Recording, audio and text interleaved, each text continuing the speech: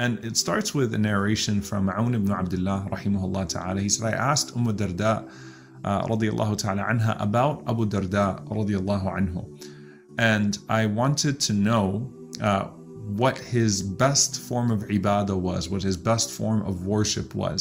Now, Abu Darda, obviously, radiallahu ta'ala anhu, was one of the muftis of the companions, one of the most knowledgeable of the companions, and distinguished with his ibadah and admired by the tabi'een, admired by the next generation for the example that he left behind in that regard. And of course, his wife, Umm Darda as-Sughra, uh, is a scholar in her own right that was uh, sought out and asked many times and would often relay things on behalf of her husband. So Aun ibn Abdullah is asking Umm Darda what was his best ibadah. And particularly, by the way, there are two narrations. أي عبادة أبي الدرداء كانت أكثر and in one narration afdal. So which of the acts of worship of Abu Darda radiallahu ta'ala anhu were most or which of them were the best? So what is his most virtuous and most distinctive form of worship and what is his most frequent form of worship? Akthar.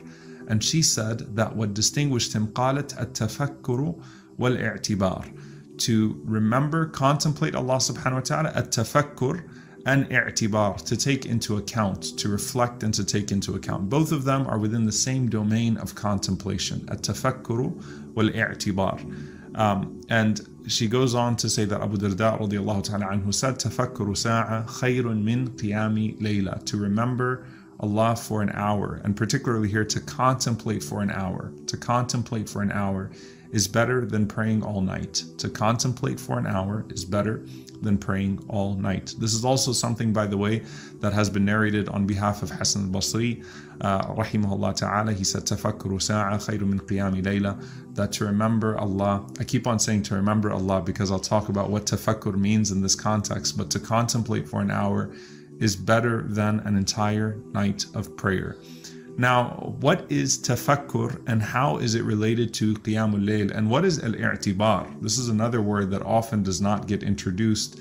You hear the words tafakkur and you hear tadabbur, uh, which are contemplation and reflection. I'tibar, which is to, to consider, to take into account something, um, is a word that's often not used when we're talking about this blessed practice. So let's first talk about the domain as a whole, inshallah ta'ala. You know, clearing your head, if you go out in nature and you don't do anything, you don't say anything, you just look around and you just take it all in, quiet everything, then that in and of itself is a means of really uh, opening up the pathways in your heart and in your, in your, thoughts so that you can remember Allah subhanahu wa ta'ala properly, so that you can consider the greatness of Allah and the greatness of your purpose in um, you know living in accordance with what Allah subhanahu wa ta'ala has revealed and what comes next after this life, the true meaning of this life and what comes in the hereafter, and so on and so forth. You know, that practice of taking time out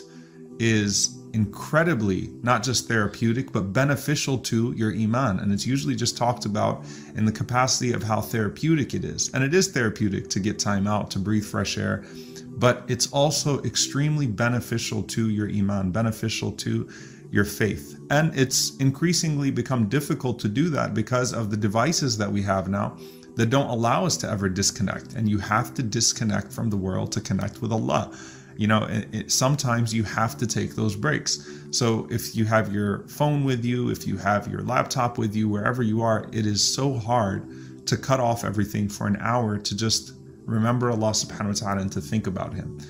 And that's something that's very important here that the nature of contemplation here and tafakkur is not one where you're just enjoying the outdoors, but you're looking around and as you are enjoying the outdoors and you are looking at the signs of Allah as they are so observable to you, you're saying Subhanallah, Subhanallah, La ilaha illallah, Alhamdulillah, right? You are alternating between the various uh, recitations of athkar, of remembrances that we learn from the Prophet Sallallahu Alaihi wasallam, and deeply considering those things. So, tafakkur is to contemplate on the signs of Allah, to contemplate on the verses of Allah subhanahu wa ta'ala, and it should provoke a sense of remembrance. So, saying Alhamdulillah, saying Subhanallah, saying Allahu Akbar, saying La ilaha illallah, going between those various verses of praise, those statements of praise, and those statements of remembrance is a way of keeping you connected not just to the signs that are around you and contemplating them, but also connecting you to their maker